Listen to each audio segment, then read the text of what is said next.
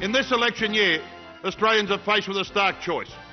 Allow un-Australianism to flourish or take a stand against it before it becomes as prevalent as exposed genitals on a reality television show.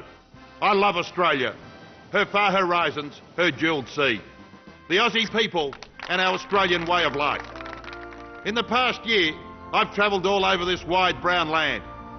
I've met a few people, both young and old, and listened to what they had to say. I've seen firsthand the devastation un-Australianism has caused, and frankly, I've had a gutful.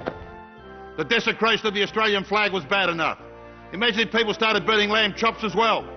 And un-Australianism played a role in the greatest disaster to befall our nation since tofu, the early retirement of our greatest Olympic swimmer. Is there anything more un-Australian than those gold medal hungry Yanks who try to poison a big-hearted Aussie champion with the lure of Hollywood just to stop him racing? It's like Phar Lap all over again. That's the danger of too much LA and not enough LAMB. Our junket-loving, limousine-riding, over-superannuated politicians will bombard you with promises in the coming months. But throwing money at the problem is not the answer. We need to throw lamb at it instead. So men and women of Australia, it's time. It's time for the Australia Day party. Our multi-pronged lamb plan will take tax cuts off the table and dish out lamb cuts instead. Extradite the terrorists who planned gas attacks on the Aussie cricket team in London and put their skills to good use filling barbecued gas bottles. They shouldn't mind the odd explosion. Scrap English tests for migrants. Who cares how they use their tongue? As long as they can use their tongs. Speaking of tests, there's one way to keep the ashes permanently in Australia. Make our own. The ashes from a good lamb barbie are a lot better than some burnt pommy stump anyway. And reduce global warming by finding alternatives to fossil fuels to power barbies. Uranium, for example. Think how many lamb chops a portable nuclear reactor could cook.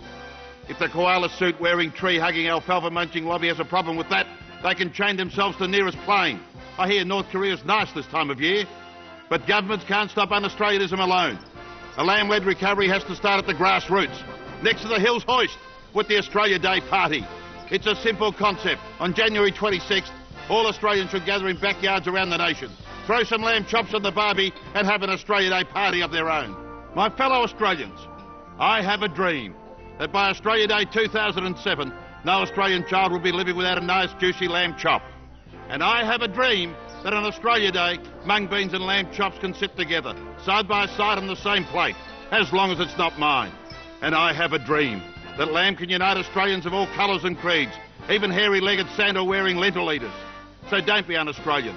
Vote lamb on Australia Day. You know it makes sense. I'm Sam Kekovich. Authorised by D. Thompson for the Australia Day Party, spoken by yours truly.